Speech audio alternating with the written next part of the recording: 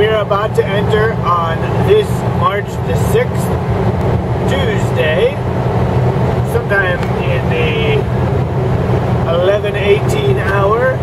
One of the most beautiful places on earth that I consider, I guess, probably my favorite piece of drive anywhere I've ever been.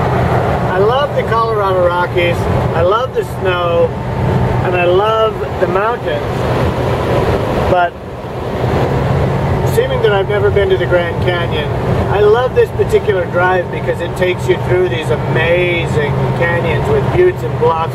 You see all the striations and levels of life that have been on this earth in each of these buttes and bluffs.